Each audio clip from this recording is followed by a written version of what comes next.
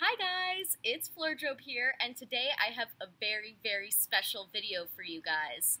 Uh, but before I get into all that, I would like to introduce to you all my best friend, my emotional support dog, Luna. And Luna is a Great Pyrenees, which is actually a giant dog breed. She's a year and a half old right now and around 75 pounds, which, believe it or not, is actually kind of on the smaller side for a Great Pyrenees. Uh, yeah. But in a few days, me and Luna will be going on one of our biggest adventures together. We are going to be moving across the country, traveling 1,266 kilometers from Halifax, Nova Scotia to Toronto, Ontario. This will be Luna's third flight, so she is a veteran. She's a seasoned flyer, and I thought I would take this opportunity to teach you guys a little bit about how I prepare Luna for our flights together, and also my tips and tricks for flying with an extra large emotional support dog. So, my first tip is to do pre flight sensitivity training with your dog. Even the best trained dogs can act out in stressful and unfamiliar situations. And the airport is full of strange noises, machines, and crowds of people that can even make the best trained dog a little bit anxious and afraid. So, a great way to prepare for your flight is to do some sensitivity training with your dog beforehand. So something I like to do with Luna to get her used to big crowds before we go to the airport is to go somewhere busy. Uh, for us, we usually pick a local mall, and we'll go there during a busy hour and just do some training exercises. Uh, another thing that I highly recommend is getting your dog used to the sounds of planes taking off and landing. So there's a ton of great YouTube videos um, online. You can just type in plane noises or plane ASMR and what I'll do is I will get my dog and give her a treat that she really enjoys, maybe something like this peanut butter Kong here, and get her all set up to listen to some plane noises. And what this does it get is it gets her used to those noises so that way when she's sitting in a plane and suddenly a large machine hum comes on, she isn't going to bark and freak out. She's going to already be used to hearing that and it's just going to make the journey a lot less stressful for her. So, in my opinion, one of the number one most reliable ways to ensure your pet has a good flying experience is to tire them out beforehand. So, for me and Luna, we'll be going to the um, park.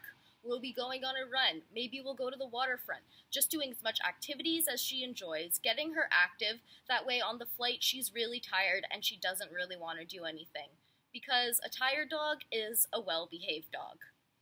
Um, I would also highly recommend that you stop feeding your pet a couple hours before your flight, as well as monitor their water intake. And what that does is that just ensures that your pet isn't going to get um, air sick or maybe have an accident on the flight, and it ensures everything goes as smoothly as possible. Another tip I have, and this is completely optional, always up to your discretion whether you want to give your dog a medication or not before flying, but my vet actually doesn't recommend medications. This is a natural nutritional supplement. It is called Zylkene, and it is a supplement that can reduce chronic stress as well as situational stress in your dog.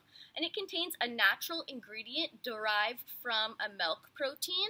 Uh, and it's essentially a protein from a mother's milk that's known to re promote relaxation in newborn puppies. Uh, so I give this to Luna every time we fly, and the reason I like this medication is it's non-drowsy, which is really important when you have a huge dog, because if you have a really big dog, you definitely don't want to have them so tired they're asleep, and you need to carry them around the airport. Uh, and also, because this is all natural, it isn't really known to have any adverse side effects. It's very, very safe, which is really, really important to me as a dog mom. Uh, one of my last tips is to always arrive for your flight a little bit early. Uh, this ensures everything goes as smoothly as possible. You have time to make sure your dog has that one last bathroom trip before you get on your flight, uh, and you're not stressed. So now that I've explained my pre-flight tips, let's get into what I bring with me when I fly. I always bring Luna's emotional support dog harness, uh, and this just identifies her as an emotional support dog when we're going through the airport. Uh, this uh, harness isn't actually sold as uh, a service dog or emotional support dog vest. It's a hiking vest. I got it from Mountain Equipment Co-op, and it's actually a backpack. And I love this for flying because it allows your dog to carry some of their own stuff, which is awesome if you have a big dog. Uh, and yeah, I just bought these emotional support dog tags off Amazon and sewed them on. They're on Velcro, so I can have uh, it on or off at my own discretion, which I also really enjoy. So one really cool thing about this harness is that it comes with two water bladders. When I fly, I usually only bring the one, and I will fill it up after we go through security and have it with me throughout the whole journey to ensure Luna is hydrated and refreshed. So, that in there. Uh, the next thing I will always bring with me when I fly is poop bags, pretty self-explanatory. I will also bring a bag of treats to keep Luna happy and praise her throughout the flight, as well as distract her a bit. Uh, also, when I fly, it's super, super important.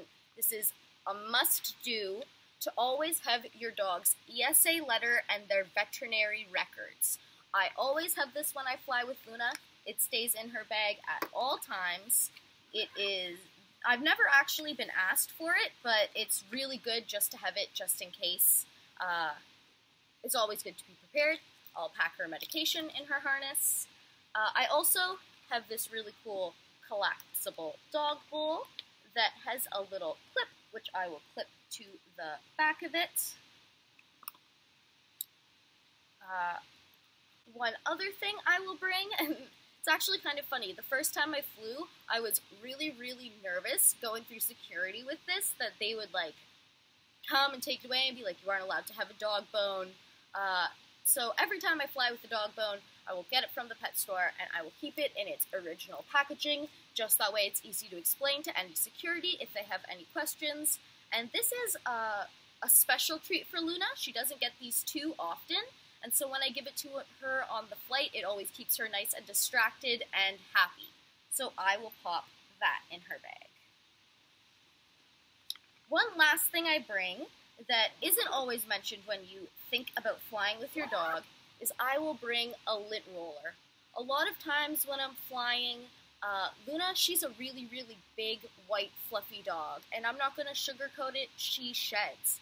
So when I am flying, if there's other passengers who are seated beside us and they're wearing black pants, or if after we leave the flight and as I'm getting up, I leave the seat and I see it's covered in dog fur, I always make sure to offer my lint roller or roll it myself just to be considerate to everyone else who's flying uh, because I just think it's a nice thing to do. So I will pop that in her bag. And as you can see, Everything that I've just mentioned, I've put in the bag as I've been talking to you guys. This thing is amazing. There's room for like a ton more stuff in here, but this is really all she needs to fly. So I love this bag for flying. One last little detail I didn't mention about it is it has this cool handle at the top of the harness that just lets you have a good hold of your dog in the airport. So yeah, that is all of my pre-flying tips as well as what I bring with me when I fly with my large emotional support animal. Uh, so now the rest of the video is just going to be kind of a little vlog style of showing you guys how me and Luna get through the airport. Uh, wish us happy travels. See you guys later.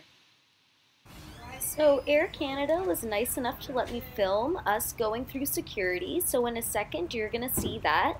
And the only thing you need to know is your dog should be able to sit and stay as you go through the okay, checkpoints. Awesome. All right, Luna, wait You can pass it around. Oh, okay. And then when you come through, you can take the video. Yeah. All right? Wait. Okay, Luna, come here. You want a treat? Come here. You can come. Good girl. Good girl. Good job. Hey guys, so we just got through security. Everyone was very, very nice. They were kind enough to let us film so we could show you guys all what it's like to go through security with a service animal. And yeah, we're getting ready to board the plane now, so I'll see you guys later. So I am here on the flight with Luna, and Luna. She's looking really comfortable. I've that strap that I bought to attach her in really nicely. And yeah, we're excited and ready to go. Air Canada was nice enough to give us a full empty row. So she has plenty and plenty of space. And yeah, we're all ready to travel to Toronto. Hey Luna.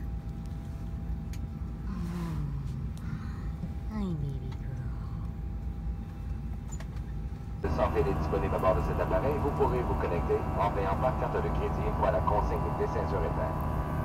Veuillez prendre note que l'utilisation des applications vocales n'est pas permise en vol.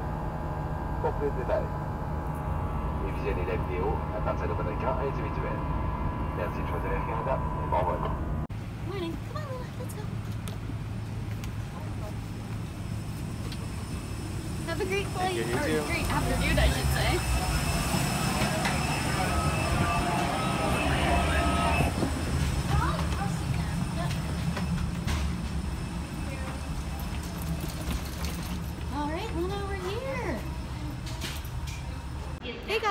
I'm in Toronto now, and I just wanted to say that Luna did great. She had an amazing flight.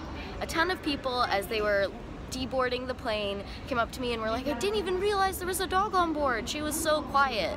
So I guess all my pre-training worked because she did wonderful. Our flight was amazing. Everyone for, from Air Canada was so, so nice and so, so kind and accommodating to us. Uh, they were nice enough to let me film me going through security. Um, and they were actually nice enough to give us the whole row to ourselves, which was amazing. Luna had so much space. I'd highly recommend flying with them if you have an ESA. They're really, really great. That's not Luna barking in the background, by the way. That's another dog. it's a madhouse. It's Toronto Airport. Come on, let's get out of here. Let's go home. What do you think? Oh my goodness, Luna, who's that? Who's that, Luna?